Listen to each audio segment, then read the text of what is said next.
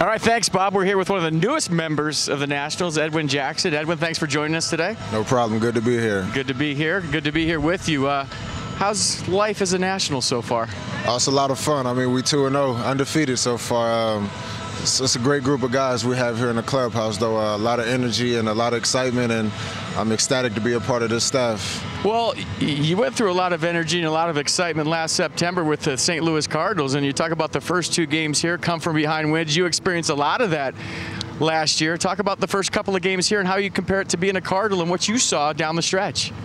Um, I mean, that's that's a true testament. Um, what happens when you battle back in this game? Um, you never know what can happen until you play every last out um, as hard as you can. And, and, yesterday and the day before, you know, we did just that. We come from behind, you know, going into the eighth and ninth innings and just continue to battle and continue to put good ABs together. And um, great, great hats off to the bullpen, you know, who come in and do a great job of shutting down the game when they come in. And it's a lot of fun to watch those type of ball games. Well, let's talk about the rotation. Let's talk about the bullpen. Have you ever been a part of a staff with this many power arms?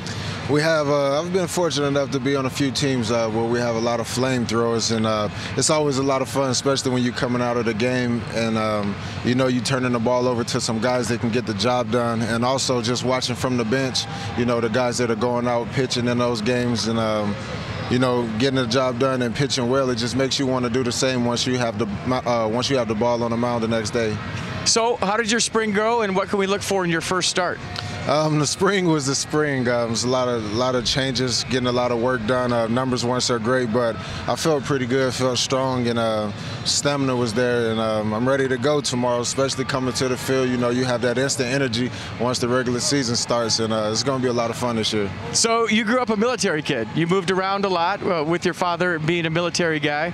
You've moved around a lot as a big leaguer. Talk about how many teams you've played on and, and what's it like to be on almost a different team every year? Yeah, it seemed like it's almost predestined uh, for me to be a military brat. Then I come into baseball and I move around just as much. But um, I mean, I've been always been a guy who understands the business part of the, the game. And um, I mean, I've never had any grudges from any trades. Uh, I never take anything into it. Um, I've just been lucky to have a chance and opportunity to play with a different team, and I've always looked at it as as long as I'm wanted, I can handle that. Um, it's when somebody's trying to trade me and nobody wants to get me, then that's when we have a problem. But I mean, as far as that, I'm always blessed to have an opportunity to be able to go out once every five days and throw. Well, you're definitely wanted here in Washington, D.C. It's good to sit down and chat with you, and thanks a lot for your time. No problem. Great to be here. All right. Back to you, Bob.